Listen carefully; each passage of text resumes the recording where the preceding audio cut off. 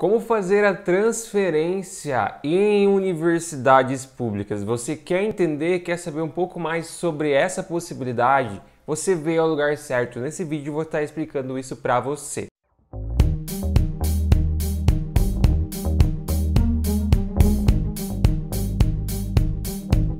E aí gurizada, beleza? Bem-vindos a mais um vídeo do canal Instituto Ensino de Potência, eu sou o professor Eduardo. Antes de falar sobre a transferência, eu gostaria de ajudar você também a entrar na faculdade. Sabia que quem tira uma boa nota em matemática fica muito mais perto da aprovação? Então está na hora de você conseguir a aprovação. Eu lancei um e-book com as melhores dicas e as melhores estratégias desvendando a prova de matemática do Enem e facilitando muito ela para você, porque tem muitas coisas que você não sabe e que vão te ajudar muito. Então, se você está interessado em entender sobre isso, acesse o link na descrição e também no comentário fixado. Adquira já o seu e-book, com certeza vai te ajudar muito. Então vamos lá, primeiramente vamos abordar algumas regras básicas, algumas regras gerais das transferências. A primeira regra básica é que você não consegue transferir no primeiro período, tá? Isso é algo assim que muitas pessoas me perguntam. A pessoa acabou de entrar, ela quer trocar de campus, ela quer trocar de curso. Gente, isso geralmente não é possível. Não vou dizer que em todos os casos isso é possível, mas basicamente 99% dos casos isso não é possível, tá? Por quê? Porque a universidade no primeiro período ela não aceita esse tipo de coisa, tá? Então, por isso, se você está no primeiro período, é bem provável que você possa conseguir a transferência. Outra coisa também que é muito importante você saber é que você tem que transferir entre áreas semelhantes, tá? Por exemplo, se você é da área de engenharia, você vai transferir para uma outra engenharia. Se você é da área de humanas, você vai transferir para outro curso de humanas. Você não vai, por exemplo, transferir de engenharia para medicina, isso é impossível. Então, uma regra é que tem que ser também em áreas semelhantes.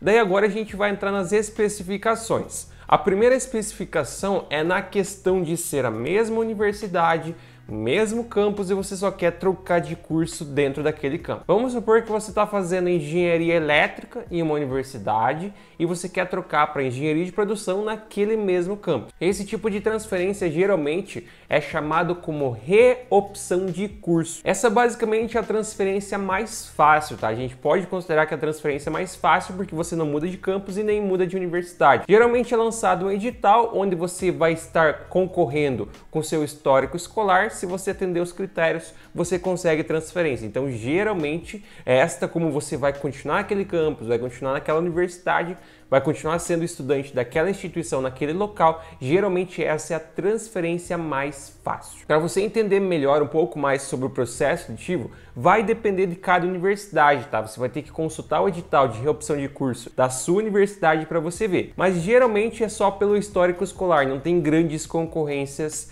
nesse tipo de transferência, tá? Então fica tranquilo, mas consulta o edital que ela vai ter todos os detalhes. Obviamente varia de universidade para universidade, mas geralmente é feito dessa forma.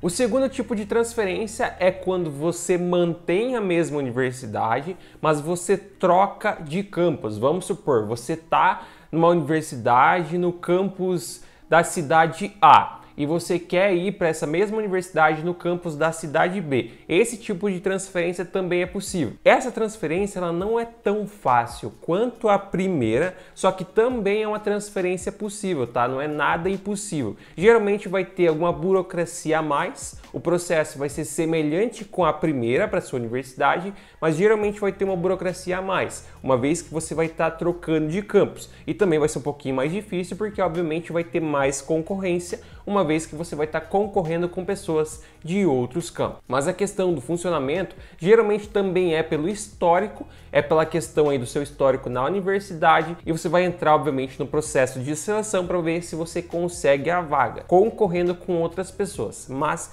geralmente esse processo é semelhante com o primeiro processo.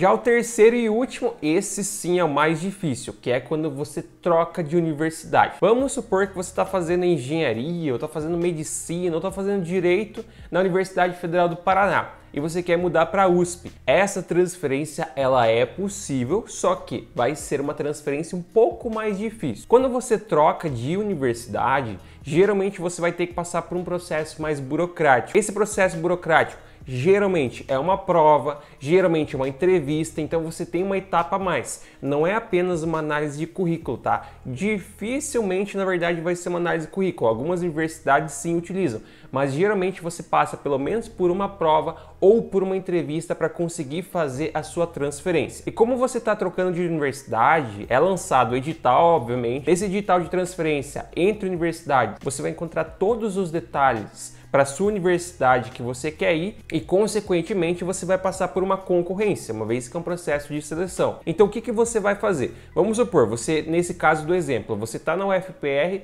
e você quer ir para a USP. O que, que você vai fazer? Você vai consultar o edital de transferências da USP Nesse edital de transferências vai estar detalhado como que funciona o processo, o que, que você tem que fazer e quais são os requisitos para você conseguir a sua transferência. Então, por isso, vai depender de cada universidade. Por isso, você tem que consultar o edital da universidade que você quer ir, que lá vai ter todos os detalhes a respeito do processo de transferência. Mas como eu destaquei, geralmente quando você troca de universidade, ou você utiliza a nota do Enem, ou você utiliza de uma prova que você vai ter que fazer, além, obviamente, da questão do seu histórico. E também vale aquela questão que tem que ser o mesmo curso e não pode ser no primeiro período. Essa última geralmente é considerada mais difícil, tá? Pela questão de ter mais etapas e pela questão de ter mais coisas.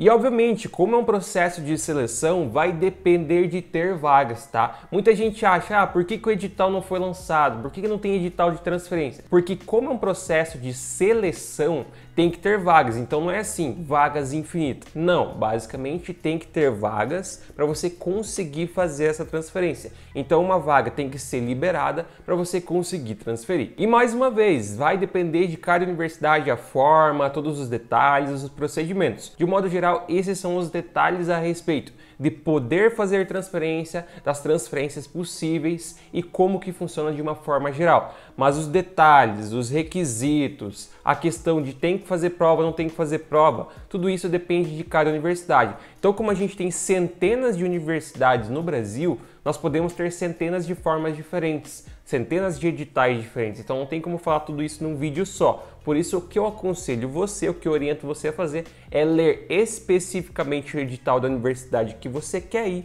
que lá vai estar tudo detalhado. Então seria basicamente isso, gurizada. Qualquer dúvida que você tiver, alguma coisa que não ficou claro, deixe aqui embaixo nos comentários que com certeza estarei esclarecendo para você o mais breve possível. Também peço para você que se inscreva e ative as notificações para não perder nenhum vídeo, nenhuma dica e nenhuma novidade. E é claro, deixe aquele like para que esse vídeo tenha mais destaque no YouTube. Tudo isso ajuda muita gente, gurizada. Ajuda muito o crescimento do canal. Muito obrigado a todos que assistiram bons estudos. Grande abraço, valeu e até a próxima.